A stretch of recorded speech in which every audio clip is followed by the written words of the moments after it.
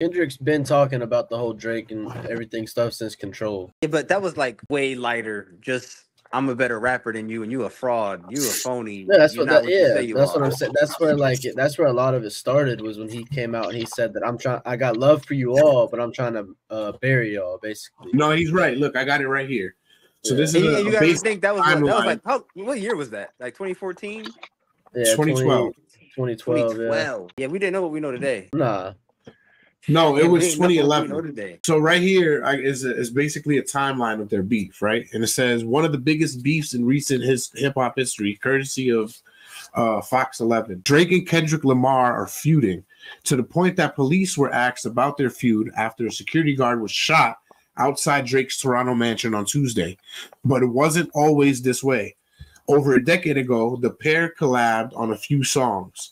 On Drake's 2011 track Buried Alive, on Lamar's 2012 Poetic Justice, and on ASAP Rocky's Problems the same year. That didn't last very long because in 2013, the Pulitzer Prize winner Lamar was featured on Big Sean's Control, in which he called out a slew of rappers, including Drake, J. Cole, Meek Mill, Pusha T, ASAP Rocky, Big K.R.I.T., Wale, Pusha T, and even Big Sean among them.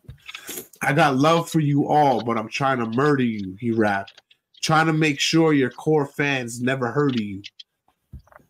Drake responded in a Billboard cover story saying, I know good and well that Kendrick's not murdering me at all in any platform. Shortly after that, at the 2013 Hip Hop BET Awards, Lamar took another jab at Drake.